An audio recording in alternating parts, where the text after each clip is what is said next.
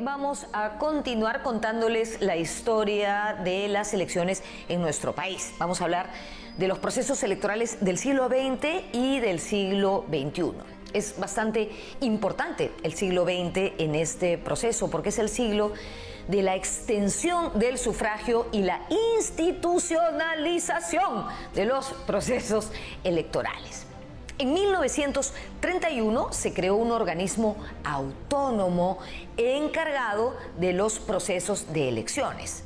En 1956, por fin, pudimos votar las mujeres y en 1980 pudieron hacerlo también los analfabetos. Además, en las elecciones de 1980 la mayoría de edad pasó de ser 21 a 18 para poder votar.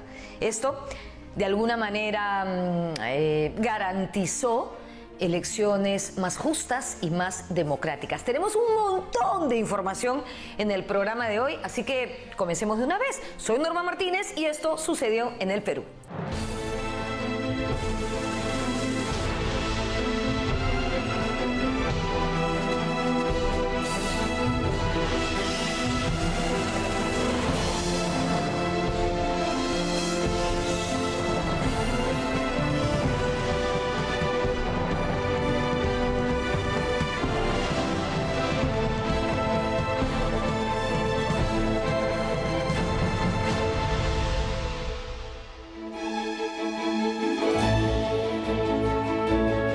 Siglo XX va a ser en realidad el siglo eh, de la ampliación y la conquista del sufragio universal.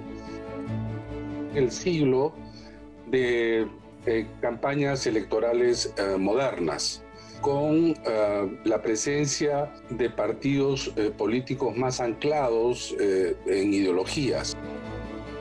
Para mí las elecciones son actos de ilusionismo por los cuales los candidatos pues tratan de hacernos creer sus propuestas y nosotros eh, tendemos a pretender que les creemos también, ¿no?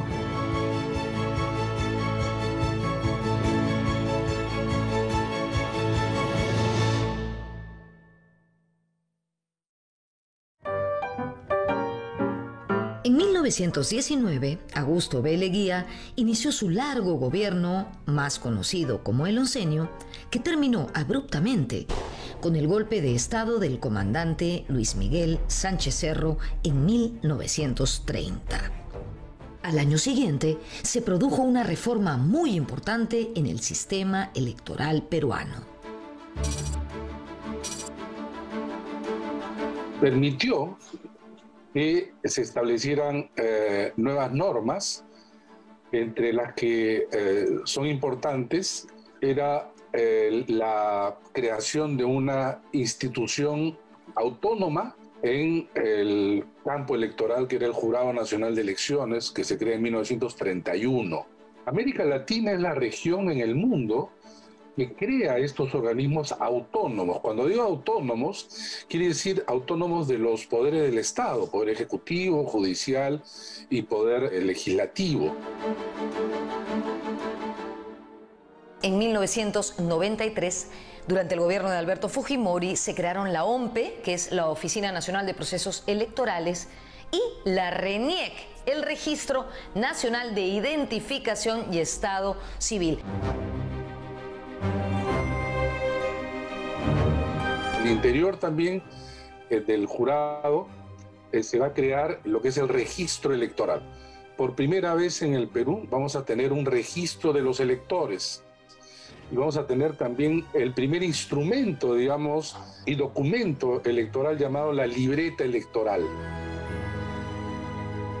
Con estas nuevas reglas, en 1931 se convocó a elecciones que ganó el comandante Sánchez Cerro. En segundo lugar, muy, muy cerca, quedó el líder aprista Víctor Raúl Aya de la Torre. Pero el APRA nunca aceptó esa derrota. Aya de la Torre acusó fraude y se originó un conflicto que tiñó de sangre al país por muchos años. O sea, Sánchez Cerro le ganó al APRA, pero nunca aceptó él la derrota. Y entonces dijo, al poder en el Perú, dijo ella, en un célebre discurso, se llega o a través de la espada o a través del dinero.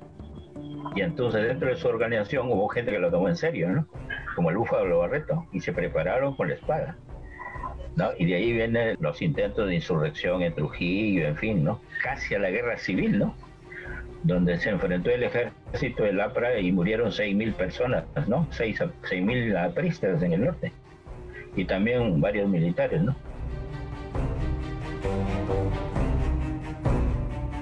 A inicios de abril de 1933 se promulgó una nueva constitución que excluía al APRA y al Partido Comunista de la participación electoral por considerarlos organizaciones internacionales. Días después, el presidente Sánchez Cerro fue asesinado y asumió el poder el general Óscar Benavides. En 1936, Benavides convocó a elecciones que ganó el destacado intelectual Luis Antonio Eguiguren. Pero como Eguiguren había recibido el apoyo del APRA, el Congreso anuló las elecciones y se extendió el mandato de Benavides tres años más. En 1939 se inició la Segunda Guerra Mundial. En ese momento, Manuel Prado fue elegido presidente del Perú con el apoyo de Benavides. En 1945 terminó la Segunda Guerra Mundial y el mundo comenzó a transitar hacia la democracia. Evidentemente era otro mundo ya. En ese contexto ganó las elecciones José Luis Bustamante y Rivero en alianza con el Partido Aprista, liderando el Frente Democrático Nacional. Aceptan que haya una coalición entre Bustamante y el APRA. El candidato no es ella, el candidato es Bustamante, apoyado por el APRA. Y entonces el APRA abre, eh, digamos, se, le da participación en las elecciones. Eso es interesante. con lo cual va contra la constitución misma del 33, que su artículo 53 prohibía el APRA, ¿no?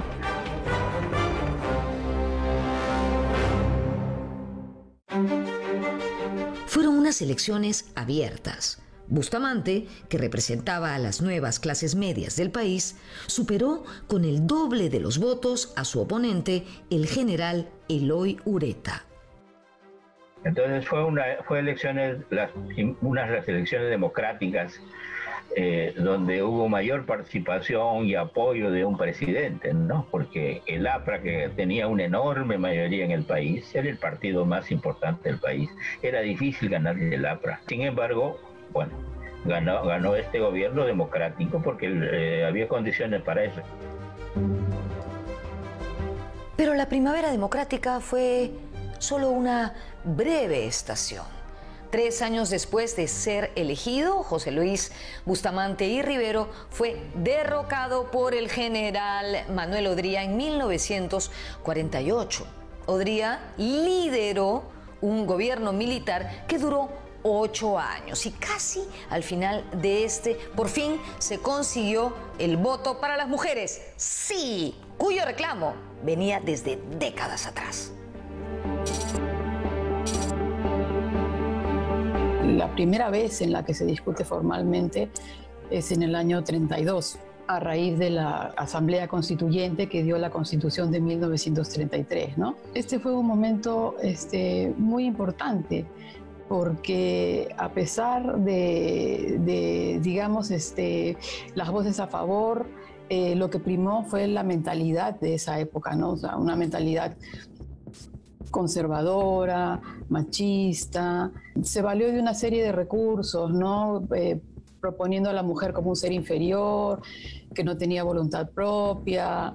Eh, digamos, este, un recurso, en este caso, fue eh, ya decretar el sufragio municipal en este entonces. En esa ocasión, la mayoría parlamentaria estuvo en contra de otorgarle el voto a las mujeres, aunque hubo algunas excepciones. Víctor Andrés Belaunde, ¿no? que eh, lo reclamó para la mujer porque dijo que la mujer religiosa era un ser dotado de libertad espiritual, ¿no? contrariamente, por ejemplo, a lo que decía Luis Alberto Sánchez, ¿no? la religiosidad de las mujeres era una rémora. ¿no? Entonces, en la Asamblea Constituyente de 1932 se le niega el voto a la mujer y esto se consigue en la década de 1950, cuando la situación de la mujer en general comienza a mejorar. No tanto como en nuestros días, evidentemente, pero se dan avances las mujeres están integradas ya en la vida nacional, tanto en la vida política, en la vida cívica, en las universidades, en los empleos remunerados. Y bueno, en los años 40, ¿no? Ha habido todo un cambio en, en, este, en, esta, las constituciones en, en los países vecinos, ¿no? Entonces, bueno, Llegamos al, periodo de Odría y sí, es como algo que ya está latente, ¿no? O sea, es decir, si él no otorgaba el, el sufragio a las mujeres, pues en el Congreso se le iban a adelantar. Fue así que el 7 de septiembre de 1955, a menos de un año de que Odría dejara el mandato, se publicó la ley que otorgaba el voto a las mujeres. Es así que que bueno, es como una carta ¿no? que saca debajo de la manga porque dentro de su gobierno las mujeres no fueron una prioridad. Es un ardid, diría yo, como para eh, maquillar este gobierno. Entonces, el otorgar el sufragio, que fue una medida eh, altamente democrática, pues eh, ha venido a, a maquillar el rostro de este gobierno. ¿no? La lucha por las reivindicaciones femeninas ha sido una historia de avances y retrocesos, de marchas y contramarchas. Después del año 56, en el que ingresan eh, nueve congresistas, ¿no? ocho diputadas, una senadora, en el periodo siguiente son dos las que ingresan al, al Congreso, eh, el esposo está, eh, no está a favor de que la mujer continúe en la carrera política. En el año 84, ¿no? en el Código Civil, eh, recién se reconoce la igualdad de hombres y mujeres, ¿no? Para, para en general este, la, vida, la vida pública, ¿no? Después vienen las, las leyes de cuotas, viene el, esto fue en el 2003, el año pasado, ¿no? la, ley de paridad y alternancia, que lo que hacen es eh, dar el, empujón legal, digamos, ¿no? a, la, a la presencia de las mujeres en la vida, en la vida pública. No se muevan, volvemos con la irrupción de la televisión en las campañas políticas.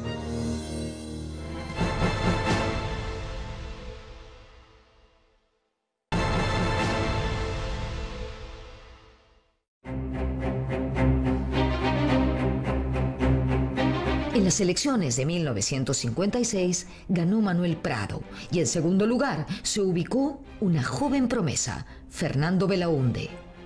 Recordemos que algunos partidos, entre ellos el mayoritario, es decir, el APRA, aún estaban impedidos de competir. Pero en 1962 las cosas cambiaron. Las elecciones volvieron a ser competitivas. Ya no hubo vetos ni al APRA ni al Partido Comunista. El APRA había sido aceptada, ¿no? Porque era una coalición a partir del año 56 entre el APRA y Prado, o sea, entre el APRA y la oligarquía. Entonces hubo un gobierno, lo que se llama la convivencia, se llamó eso, ¿no? La, la llamada convivencia. Y entonces la participación de AIA estaba cantada ya en el año 62. Al final, la elección quedó muy ajustada. Aya de la Torre obtuvo el primer lugar. Luego, pisándole los talones, Fernando Belaunde, casi en empate técnico. Tercero, Odría más alejado. El sistema electoral peruano eh, a partir de la constitución del 33, señalaba que para que sale elegido el presidente de la República, eh, tenía que superar el tercio de los votos válidos.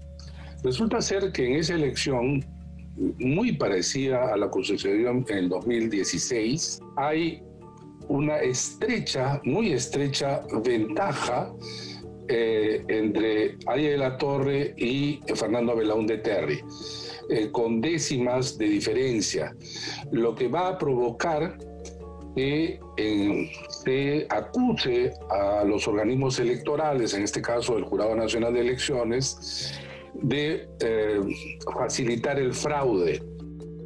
Y como no ganó el tercio electoral, entonces tenía que pasar a la segunda vuelta. Ahora, pero la segunda vuelta se da en el Congreso. Y entonces este, comenzó la negociación En ese contexto, un golpe de Estado encabezado por el general Ricardo Pérez Godoy derrocó al presidente Prado y no dejó asumir el gobierno a Aya de la Torre. Un año después, los militares llamaron a elecciones, pero antes de eso, realizaron una reforma electoral.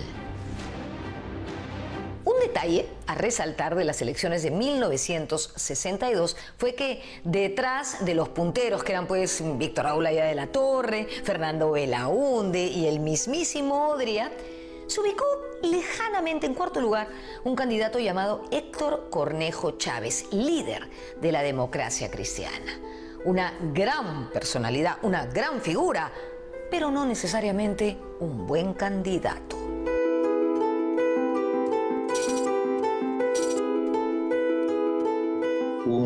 Intelectual crítico, eh, muy agudo, muy polemista, este, y, y a la vez eh, poco carismático, eh, más bien un poco antipático, digamos, ¿no?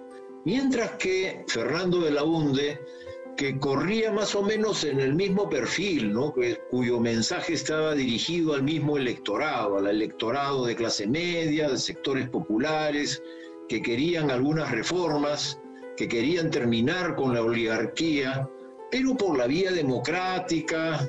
Fernando de la Hunde era mucho mejor candidato que Héctor Cornejo Chávez, pero las ideas las tenía Cornejo. El programa de gobierno lo tenía Cornejo mucho más claro. En 1963, los militares convocaron a elecciones, que esta vez sí ganó de manera más clara Fernando Belaunde, con el 39% de los votos y con el apoyo de la democracia cristiana. Aya de la Torre obtuvo 34%. Si bien desde el siglo XIX la propaganda electoral fue un factor importante para encumbrar a un candidato, es recién después de la Segunda Guerra Mundial que apareció notablemente lo que hoy conocemos como marketing político.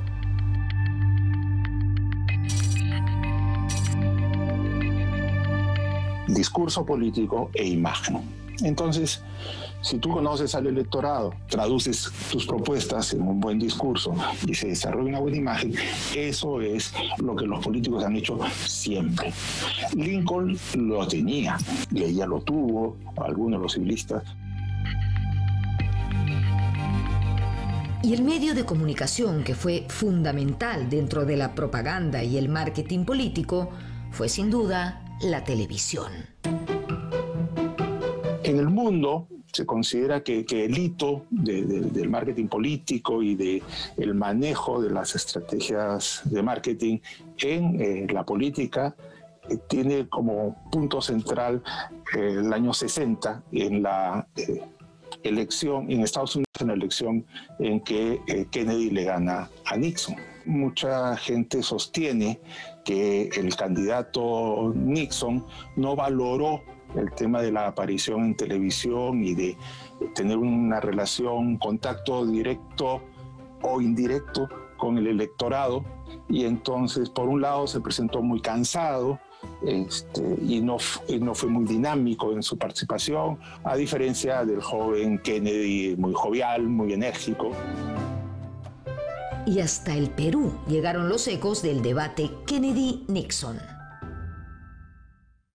En 1963 elegimos a nuestro primer alcalde por voto popular, Luis Bedoya Reyes, representante de la Alianza Gobernante, integrada por Acción Popular y la Democracia Cristiana. Él se impuso a la candidata María Delgado de Odría, sí, esposa del general Manuel Odría, que postulaba por la coalición APRA 1. ¿Se acuerdan de que era uno? Unión Nacional Bueno, en ese entonces el periodo de alcaldía duraba tres años, por lo tanto en 1966 Bedoya buscó la reelección y en ese contexto se produjo el primer debate político televisado de nuestra historia. En él debatieron Bedoya Reyes y Jorge Grieve, un ingeniero representante también de la coalición APRA 1. Bedoya sacó a relucir toda la chispa y picardía que le conocimos hasta el final de su vida, a los 102 años, y se impuso sobre Grieve. El político le ganó al técnico. Luego de ese hemos tenido muchos debates. Entre los más recordados están el de Fujimori Vargas Llosa en 1990, Toledo García en 2001 y la intervención de Fernando Olivera frente a Alan García en el debate del año 2016. Solo le pido a Dios que el crimen y la corrupción no me sea indiferente. Es un monstruo grande y pisa fuerte. En 1968 se produjo un golpe de Estado encabezado por el general Juan Velasco Alvarado. En 1970 78, durante el gobierno de Francisco Morales Bermúdez, también militar, después de 15 años sin elecciones generales, se abrió una transición hacia la democracia y se convocó a elecciones para una asamblea constituyente. Morales Bermúdez permite la apertura, se inicia una negociación básicamente con el APRA y con el PPC eh, la izquierda dice que no, pero al final terminaron participando. Son diversos grupos de izquierda, pero la suma se acerca al tercio, se acerca a 30%. Y es muy buen resultado. Este, la izquierda queda segunda, ¿no? Detrás del APRA y por delante del PPC. Regresamos con el triunfo de Alberto Fujimori sobre Vargas Llosa en las elecciones de 1990.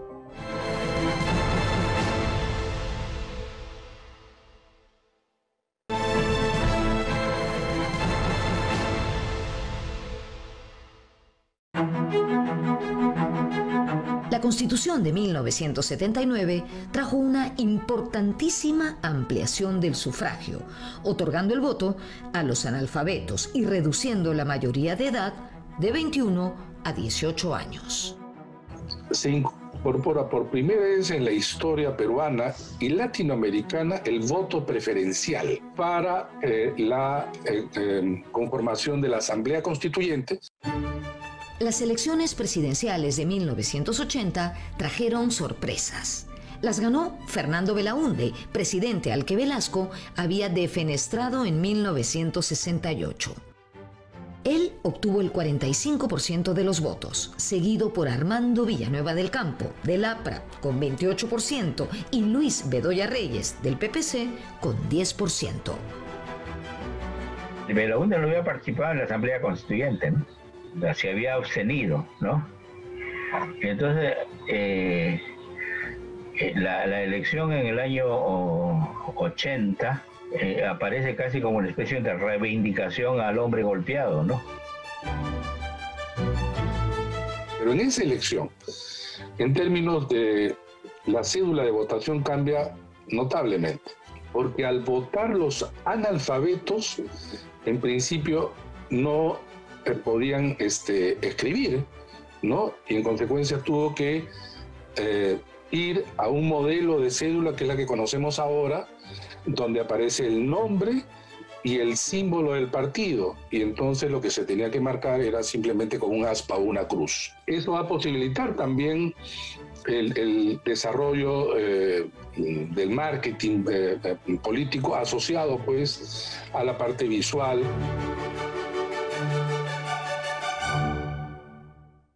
La campaña de 1980 fue muy rica a nivel de marketing político y entonces la televisión sí que entró a tallar. Recordemos que la televisión había entrado tímidamente a nuestro país en 1958. De hecho, Belaunde ganó en 1963 las elecciones sin hacer ninguna campaña política en televisión. Existe el antecedente del debate entre Bedoya y Grieve que fue televisado, pero realmente es en 1980 cuando la televisión participa activamente en la campaña política.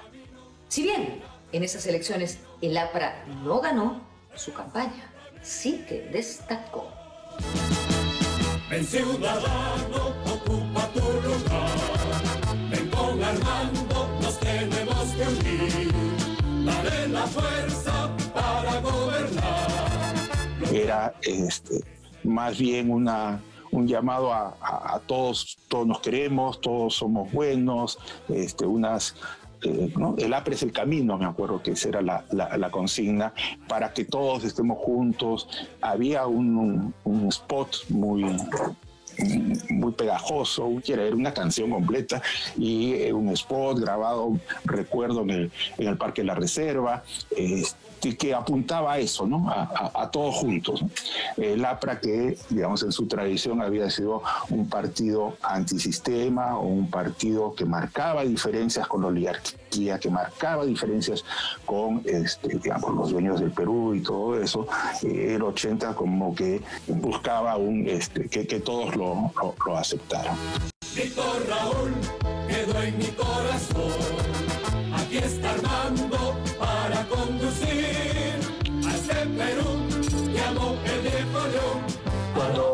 analizas las elecciones del año 80, la del 85 y un poco la de los 90, te das cuenta que la música es épica, la música es este, himnos. para mí, una de las canciones de campaña más hermosas que ha habido es la del 80 del APRA. El APRA siempre ha sabido hacer buenas campañas, eh, al menos entonces.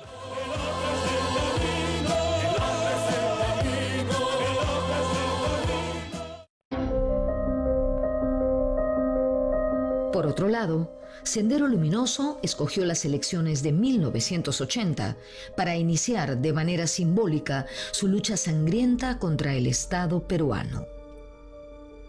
Ese día, el distrito de Chuschi, en Ayacucho, fue testigo de la quema de ánforas y padrones electorales.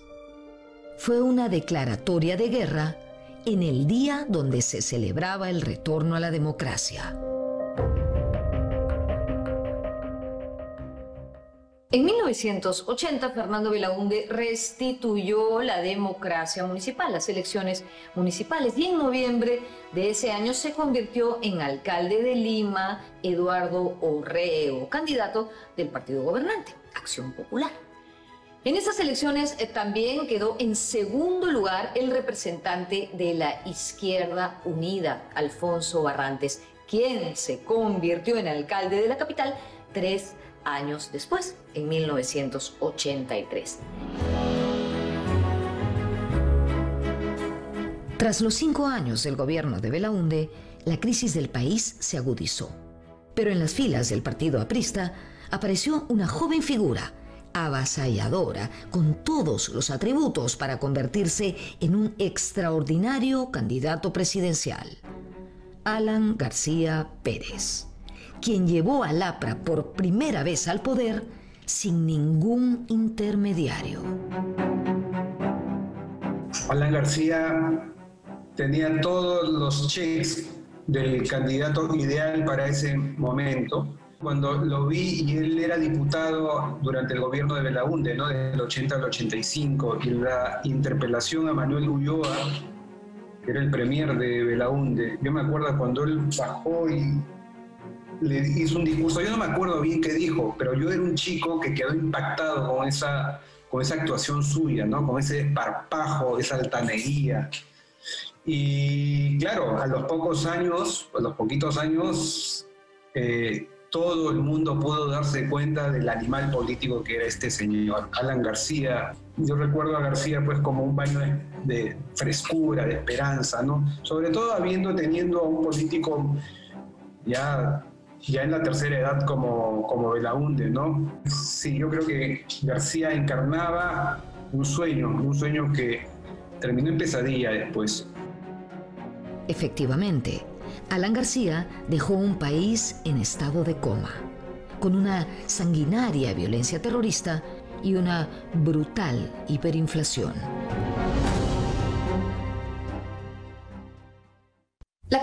Por las elecciones de 1990 empezó en realidad un par de años antes, con las marchas contra la estatización de la banca anunciada por el gobierno de Alan García, el liderazgo de todo esto recayó en Mario Vargas Llosa. Sí, el escritor, nuestro premio Nobel. Él estuvo al frente del movimiento Libertad y luego, junto a una coalición de partidos de derecha, postuló a la presidencia por el FREDEMO, el Frente Democrático de Unidad Nacional.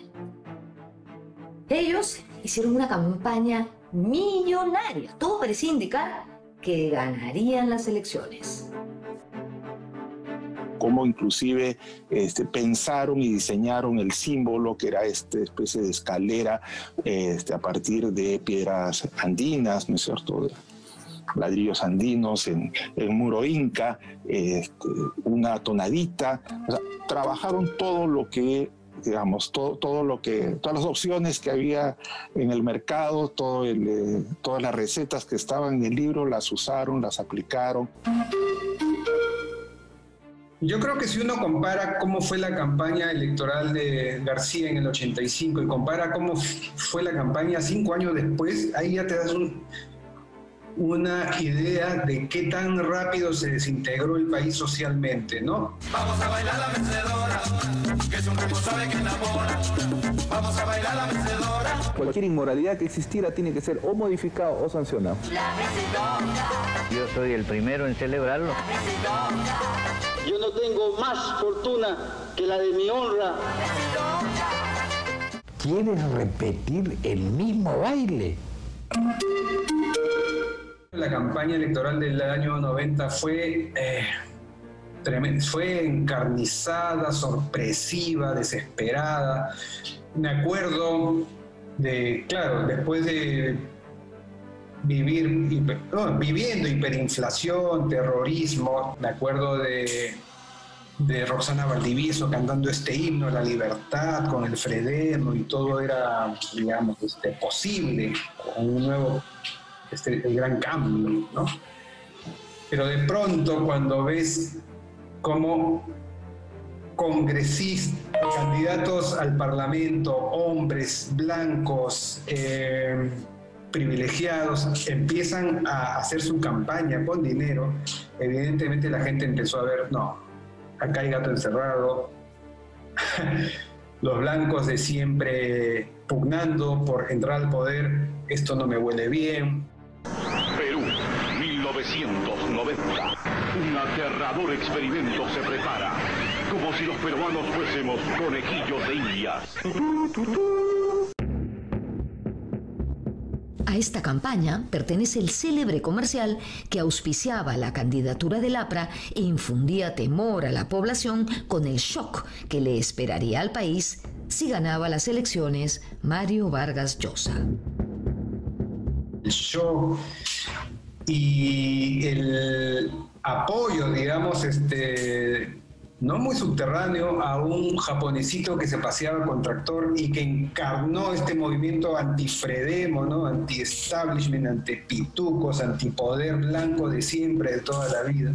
Entonces eso hizo que las elecciones del 90 pues sean dignas de estudios para la posteridad. Y claro, eso fue aprovechado por este, la ola, lo que después sería el tsunami Fujimori, ¿no? Este, que encarnaba valores que en ese momento los peruanos creíamos no tener, es decir, este, honradez, tecnología y trabajo. Marca el 90, el símbolo del cambio. No se vayan, regresamos con lo último del programa, las elecciones del siglo XXI.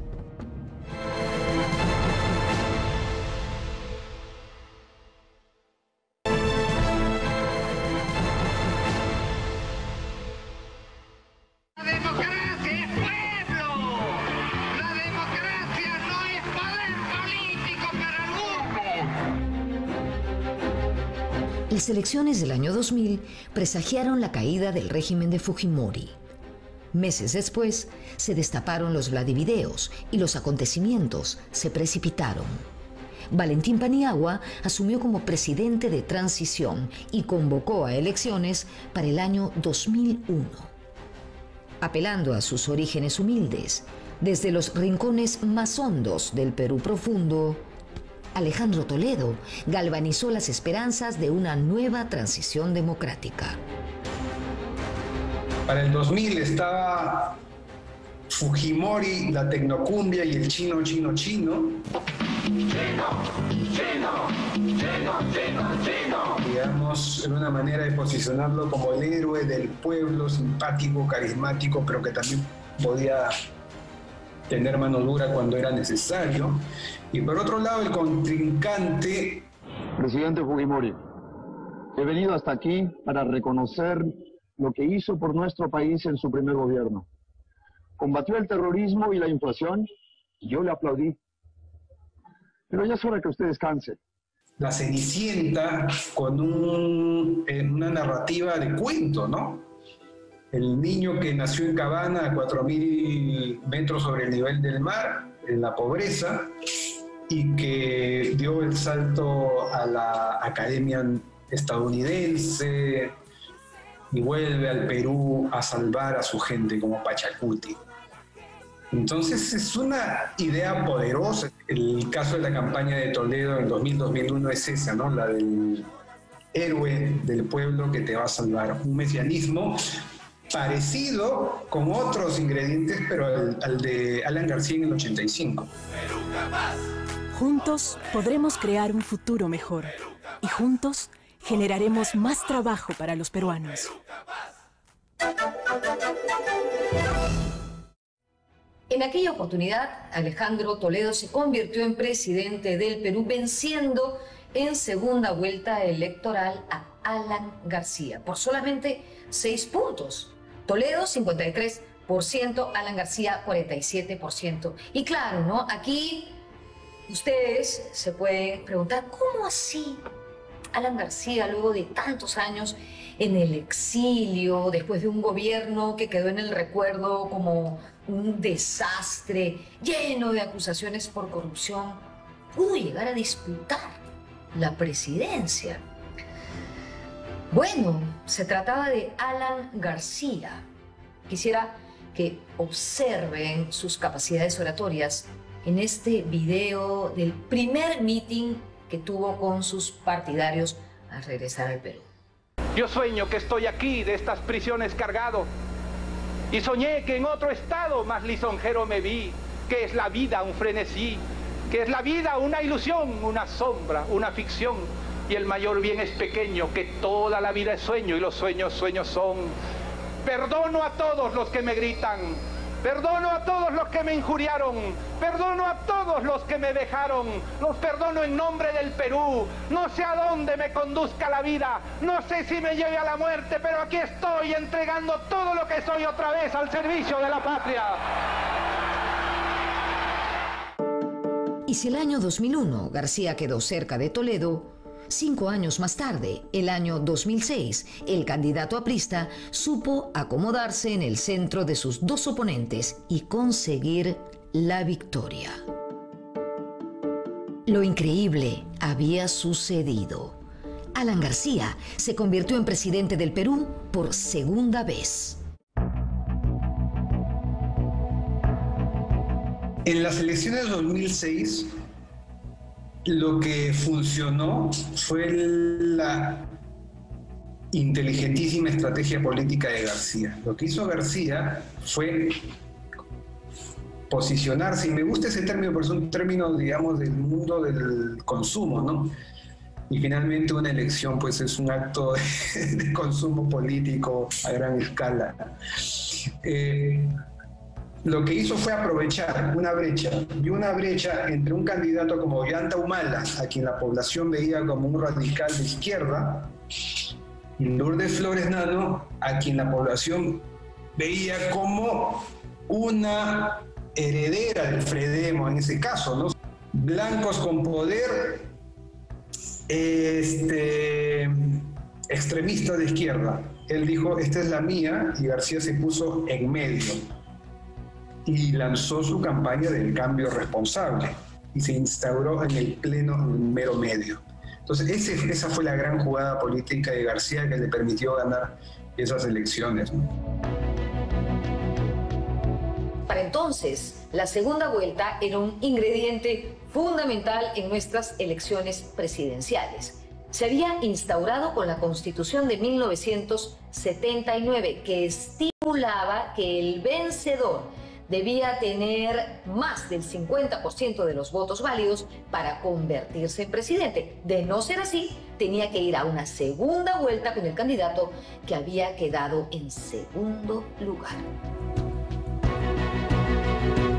Lo que ha traído la segunda vuelta es un escenario que se ha repetido a lo largo de buena parte de este siglo, el de votar en segunda vuelta por el mal menor.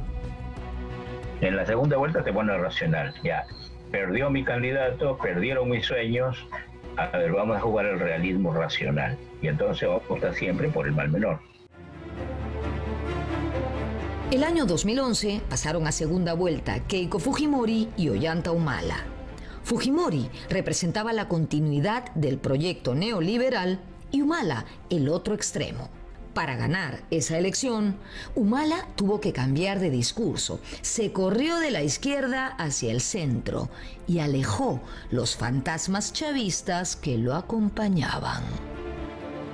Para el 2011, eh, el gran acierto de Humala fue, digamos, cambiar de polo, de polo rojo a polo blanco es decir, atenuar su discurso, hablar de un progresismo moderado, quitarse, pues, así como a Toledo se le aconsejó en su momento en 2000 quitarse la vincha de los cuatro suyos.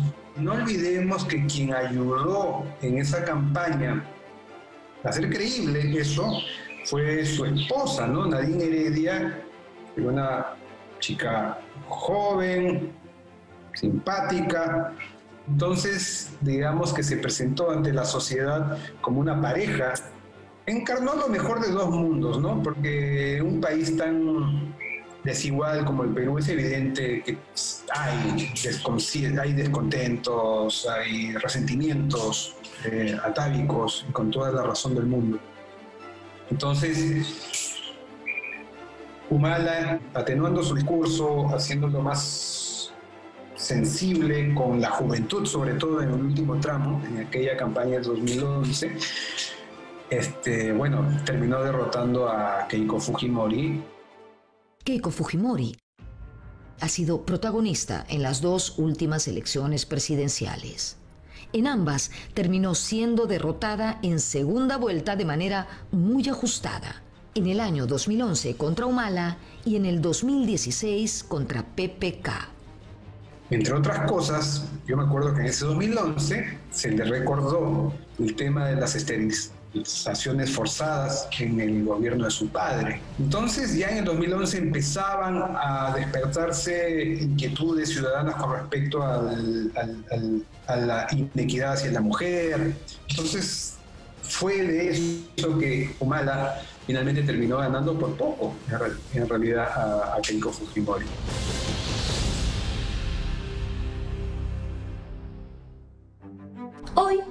Con el auge de las redes sociales y la digitalización de las comunicaciones, están cambiando las dinámicas de las elecciones, evidentemente. Ya no se necesita ser un gran líder carismático o mesiánico o un estupendo orador de plazas y parques. Esto, sin duda, interviene en el perfil de los candidatos que las personas buscan. Ahora, las cámaras están encendidas las 24 horas, cualquier celular se convierte en reportero y eso hace que este acto de ilusionismo que es una campaña electoral, eh, haga que se vean los hilos, los espejos, los remiendos. Entonces, ahí es que aparece pues chicharrones, palabras, eh, frases este, fuera de lugar o respuestas que evidencian tu ignorancia sobre determinado tema. Eh, lo que más premia la gente, creo yo, cuando se trata de candidatos a la presidencia es, aparte del carisma, la autenticidad. Y en la medida que las redes sociales pueden eh, desenmascarar eh, lo postizo, pues la autenticidad se ve puesta en, en riesgo, ¿no? Y hablando de transformaciones, hasta ahora se siguen implementando nuevas reformas electorales con el fin no solo de seguir ampliando la ciudadanía y contribuyendo a realizar unas elecciones más democráticas, sino que también buscando combatir la corrupción. Perú es el primer país en la región que otorga el derecho a voto de los peruanos en el extranjero a partir de 1980. Se va a otorgar espacios de televisión gratuito a todos los candidatos y partidos. En el 2003 es una gran modificación porque por primera vez en el Perú van a haber una ley de partidos políticos. En el 2006 se amplía el sufragio para otorgar el derecho a voto a policías y militares, pero solo derecho a votar, no ser elegidos y en el 2006 se incorpora el umbral de representación o en nuestro país llamado valle electoral.